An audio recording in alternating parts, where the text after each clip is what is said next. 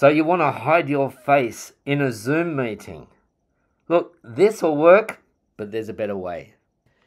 If you're already in the Zoom meeting, you want to turn off your camera. Really easy. You just press stop video. People will still be able to hear you, but they're going to see your profile picture. And if you want to know how to update your profile picture, check out this video here. But what if you want to join the meeting with your video completely off? Here's how to do that before you join the meeting. Open Zoom, hover over your profile picture on the top right here, and then go to Settings. Then you go to Video here, and instead of having a video, I want to say Stop my video when joining.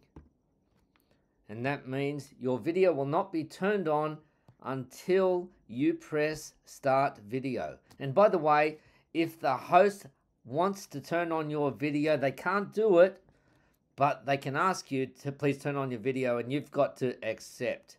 So it's entirely up to you. They, now, if you are getting a little bit more comfortable with being on camera, then you can click this one to say always show a video preview dialog and that just allows you just to make sure that you're you look okay before you actually join the meeting.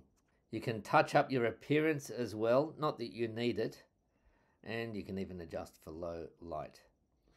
Last thing is you may want to mirror your video so that when you show something with your right hand, this is my right hand, it looks actually like your right hand to yourself. The mirror video doesn't affect anyone else seeing you, but it means that when you see yourself, you're going to see it the way that you look in the mirror, which is the opposite of how everyone else sees you. Kind of weird.